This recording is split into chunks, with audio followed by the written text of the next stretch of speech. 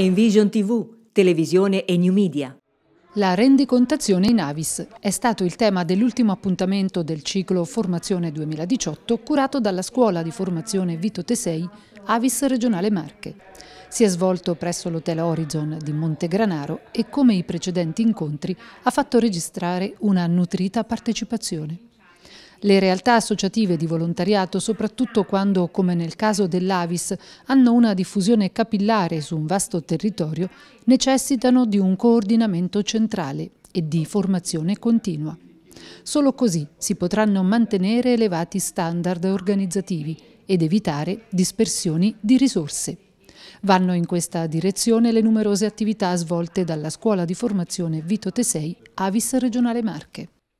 È stato veramente un anno eccezionale, la Commissione ha lavorato molto per poter individuare degli argomenti che potessero essere di interesse. La risposta è stata notevole, siamo partiti con eh, il trattare quello che sono i nuovi social perché comunque quello che è l'obiettivo è attrarre nuovi giovani, quindi come poter eh, trovare delle eh, alternative alle modalità tradizionali per fidelizzare e anche per acquisire nuovi donatori. Quindi siamo partiti con l'analisi dei nuovi media, poi siamo andati sull'accoglienza, ma l'accoglienza fatta da una professionista che tratta di comunicazione, anche comunicazione sanitaria, che ha permesso quindi di eh, dare alcune informazioni importanti su come relazionarsi con i giovani, perché i giovani non sono più come una volta, quindi anche noi come Avis nel momento in cui vogliamo andare a acquisire nuovi donatori nell'ambito dei giovani dobbiamo anche cambiare il nostro eh, modo di relazionarci. E poi siamo andati andati anche a parlare degli stili di vita salutari nell'ultimo corso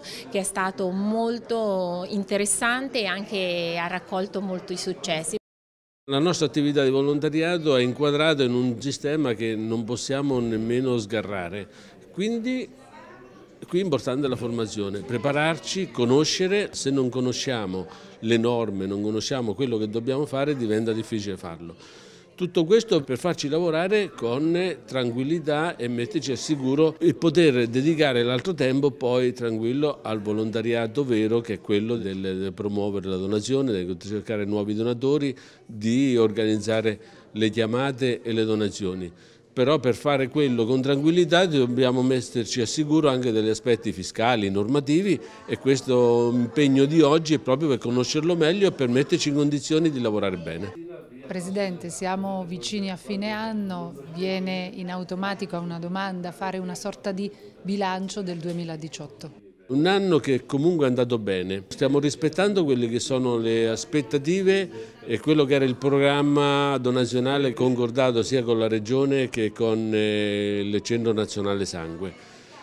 Siamo andati bene, anzi forse anche oltre le aspettative perché abbiamo messo a disposizione oltre mille sacche ad altre regioni, quindi abbiamo contribuito all'autosufficienza nazionale con eh, più di quello che avevamo programmato. Questo non significa che non ci sono problemi, ma i problemi come ci arrivano li affrontiamo e cerchiamo di risolverli.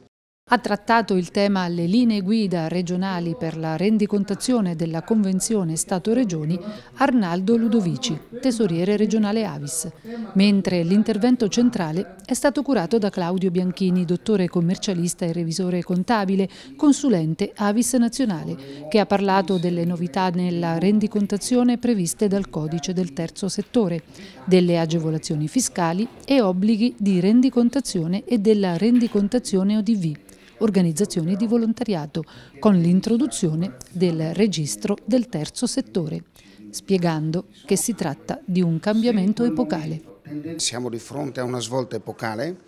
che modificherà totalmente non solo il terzo settore ma anche eh, tutta la rendicontazione delle aziende. Parlo della fatturazione elettronica e naturalmente del nuovo registro per gli enti del terzo settore che obbligherà tutti gli enti che si avvalgono di normativa fiscale agevolata o che vogliono o che hanno già preso delle donazioni o dei contributi pubblici ad avere finalmente un inquadramento giuridico specifico e un regime di pubblicità con il deposito di un rendiconto economico-finanziario presso il registro degli enti del terzo settore. Quindi vorrà dire una massima trasparenza e finalmente una certa pulizia per quegli enti che non profit non sono. D'altra parte se si spendono dei soldi da parte della pubblica amministrazione è anche giusto che ci sia la possibilità di avere una rendicontazione. È un'occasione particolare perché vi è un regime generale di detassazione ma anche per gli enti del terzo settore che dovessero svolgere attività commerciale vi è un regime di carattere fiscale molto agevolato forfettario che consente di pagare un'imposta tra virgolette sostitutiva tra il 7 e il 17%, quindi vuol dire una fiscalità accettabile, molto bassa e la possibilità di destinare un'attività su base di volontariato su quei settori che normalmente lo Stato non riesce a coprire oppure che la società civile ha difficoltà ad eseguire perché non è organizzata. Con un'entrata in vigore che è partita nel 2018 e si esaurirà con eh, il 31-12-2019. La realtà comunque, almeno in questo territorio, è legato eh, soprattutto al numero delle donazioni che vengono fatte, in aumento nonostante gli avvenimenti del sisma che fino all'anno scorso hanno comunque dato delle loro conseguenze. E soprattutto eh, abbiamo anche un ottimo rapporto con il centro trasfusionale di riferimento con la dottoressa Siracusa, con la quale abbiamo immediatamente scambiato un ottimo eh, rapporto e con la quale noi ci sentiamo costantemente attraverso incontri diretti, attraverso sms, attraverso soprattutto al rapporto anche con eh, gli operatori sanitari, infermieri e medici. E tutto questo sicuramente giova alla sanità giova al trasfusionale, ma giova soprattutto ancora a quel poco di volontariato che la legge in questo momento, a mio avviso, sta cercando di smembrare per ricondurlo in una situazione di tipo istituzionale. Quindi io mi auguro che al di là delle importanti novità che il terzo settore come legge ha individuato non venga scomposta la volontarietà del dono. La rendicontazione, oltre che un obbligo di legge e di statuto, è uno dei principali strumenti informativi delle varie comunali e con essa può essere vista, eh, giudicata e migliorata probabilmente anche l'attività delle varie comunali e delle varie sezioni locali Avis. Attraverso dei criteri omogenei, il corso oggi si occuperà di questo, eh, avremo la possibilità di comparare i bilanci e parlare un'unica lingua. Eh, questo consentirà eh, di aggregare eh, più comunali sotto il cappello del provinciale, quindi avere un quadro di lettura eh, più chiaro e più omogeneo, eventualmente migliorare laddove possibile o prendere degli spunti laddove ci siano delle performance o dei risultati brillanti in capo a qualche comunale attraverso anche la lettura del bilancio. Una presenza storica, possiamo definirla così, quella dell'Avis nel suo territorio, Sindaco? Sì, 55 anni di presenza importante, una sezione che è cresciuta negli anni e è riuscita a coinvolgere in maniera sempre più ampia la cittadinanza locale. È una sezione di cui siamo orgogliosi in quanto i vari presidenti che si sono succeduti e i soci sono riusciti davvero a non solo svolgere quello che è il loro mestiere, diciamo il lavoro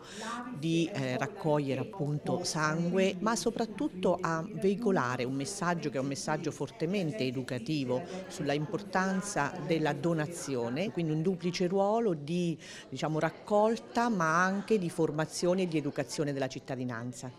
Questo corso si eh, pone a fine anno perché c'è stata una commissione che ha lavorato fatta da tutti i tesorieri provinciali della regione e dal tesoriere regionale per poter predisporre degli stampati, dei prospetti che possano essere di ausilio a tutte le avis comunali che permette di avere una omogenizzazione della rendicontazione su tutto il territorio, sempre nell'ottica della trasparenza. Abbiamo finito il ciclo e stiamo lavorando per l'anno prossimo prossimo dove sicuramente la riforma avrà un ruolo molto importante nei nostri corsi. Per cui cercheremo alcuni argomenti che magari abbiamo trattato di approfondirli e trattare anche nuove tematiche che possono essere sempre nell'ambito della eh, capacità di relazionarsi con gli altri e di promuovere, oltre che ovviamente nell'ambito della riforma e delle nuove adempimenti che ci sono.